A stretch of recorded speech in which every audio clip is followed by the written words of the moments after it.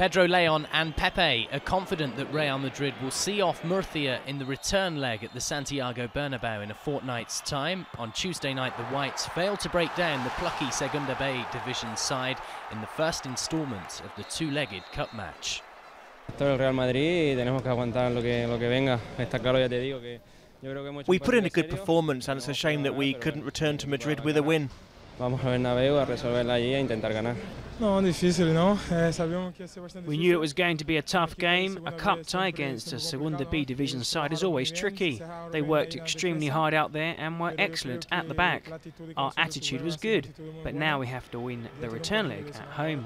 A segunda volta em casa que temos que resolver. É, é bueno para eles é, minutos, não? Então, ha sido um It's good to see some squad players enjoy a run out. I think the players who came in did a good job. We created plenty of chances, and Murcia only posed a threat during short spells in the first half. All in all, it was a comfortable evening. Partido bastante tranquilo para nosotros.